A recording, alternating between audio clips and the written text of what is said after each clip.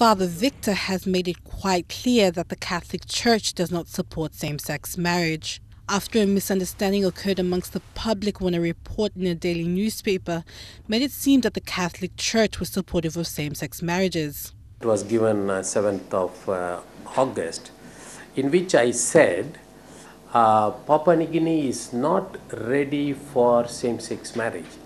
And some took it as if Catholic Church is ready for same-sex marriage and Papua New Guinea is not ready.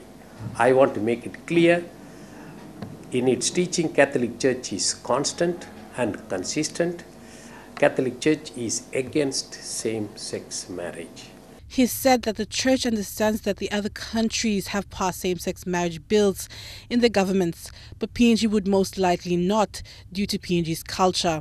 He went on to say that the church is compassionate to homosexuals as God is compassionate to them because they are human. And I want to say we respect people who are gays, we respect people who are lesbians. They are also human beings and they may be, by orientation, they may be gays or lesbians. We are compassionate to them, but the church is against same sex marriage. And culture of Papua New Guinea also is against same-sex marriage.